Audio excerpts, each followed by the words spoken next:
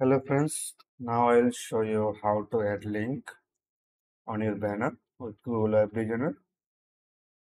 So make sure enable the component.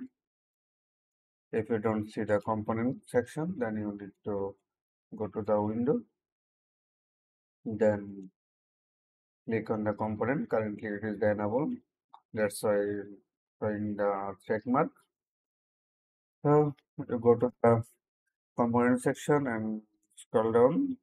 This is the tab area. You just need to the drag on the tab area and you go to the properties. Now you need to define the size. Tab area size 300 to 50.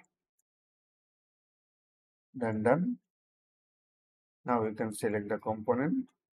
Then you can click on the mouse right button and add the add event. Alright, tab area, touch, then Google Ads, exited. Alright, then click on the this one.